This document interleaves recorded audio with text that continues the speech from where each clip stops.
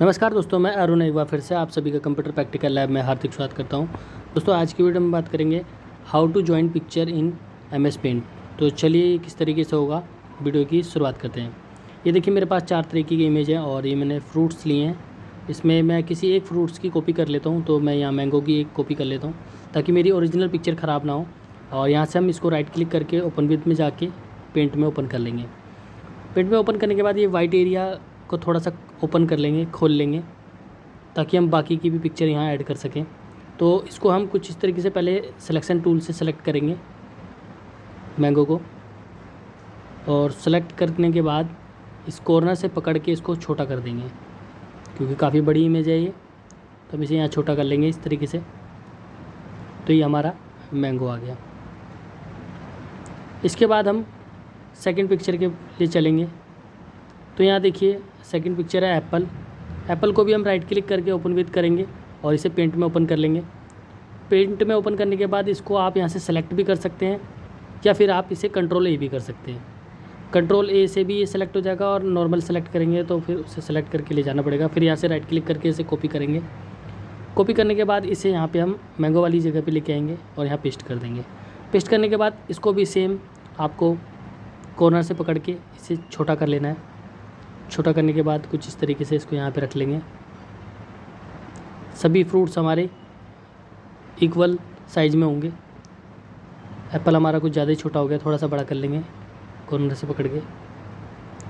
तो ये इस तरीके से इसमें यहाँ पे एप्पल भी आ गया। इसके बाद अपनी तीसरी इमेज की तरफ़ फिर से हम अपने वहाँ जाएँगे पिक्चर सेट में। ये हमारा पिक्चर सेट यहाँ से अब हम इसे ऑरेंज को लेंगे राइट क्लिक करके ओपन विद में पेंट में ओपन कर लेंगे। फिर से कंट्रोल ए करेंगे राइट क्लिक करेंगे कॉपी करेंगे और अपने यहाँ पे फ्रेम में आ जाएँगे और यहाँ पेस्ट कर देंगे। पेस्ट करने के बाद इसको भी कॉर्नर से पकड़ के छोटा कर लेंगे और छोटा करने के बाद इसे यहाँ पे ऐसे साइड में रख देंगे। तो यहाँ पे हमारा ये ऑरेंज भी आ गया। ठीक है?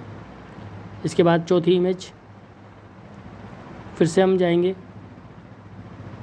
और यहाँ आपके बाहर ग्रेप्स हैं हमारे पास। अंगूर के गुच्छे को लेके चलते हम। राइट क्लिक करेंगे। ओपन विद में जाएँगे। पेंट में ओपन करेंगे। और कंट्रोल ए करके इसे सेलेक्ट करेंगे। और इसे कंट्रोल सी कर लेंगे या फिर राइट क्लिक करके कॉपी कर लेंगे। और यहाँ लाके इसे पेस्ट कर देंगे। पेस्ट करने के बाद यहाँ पे ग्रेप्स का भी गुच्छा जो है काफ़ी बड़ा हो रहा है, इसलिए हम इसको कॉर्नर से पकड़ के छोटा कर लेंगे। और छोटा करके कुछ इसे ऐसे रख लेंगे। ध्यान रखिए, अगर वाइट एरिया आपको ज़्यादा परेशान कर रहा है तो आप इसको यहीं पे क्रॉपिंग कर सकते हैं इसकी। और क्रॉपिंग करने के दो तरीके होते हैं तो मैं आपको यहाँ पे दूसरा तरीका भी बता देता हूँ। यहाँ पे अपने सिलेक्शन टूल में जाना है। यहाँ पे देखिए फ्री हैंड फ्रॉम टूल आ जाता है। इसको ऐसे सेलेक्ट करेंगे इस तरीके से। तो अब इसका वाइट एरिया जो है साइड साइड से कट जाएगा। केवल जितना मैं सिलेक्शन ले रहा हूँ, वही आएगा। तो ये इस तरीके से कट गया और यहाँ से इसको ऐसे लेके आ सकते हैं। तो ये हमारे अंगूर भी आ चुके हैं। अब क्या करना है? वापसी हमें अपना रेक्टेंगल सेलेक्ट करना है। और यहाँ से हम, ये एप्पल काफ़ी ज़्यादा छोटा हो रहा है, इसलिए पहले इसे बड़ा कर लेते हैं। यहाँ पे इसको पकड़ के ऐसे कॉर्नर से बाहर की तरफ़ खींचेंगे तो एप्पल हमारा बड़ा हो जाएगा। ये बड़ा हो गया इस तरीके से।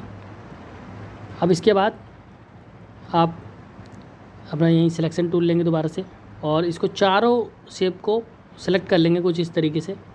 सेलेक्ट करने के बाद यहाँ क्रॉप पे क्लिक करेंगे। तो ये एक पिक्चर सेट बन गया है और चारों चीज़ इसी में आ गई। कंट्रोल एस करेंगे या सेव करेंगे फ़ाइल में जाके और इसे यहाँ से हम इसे बंद कर देंगे।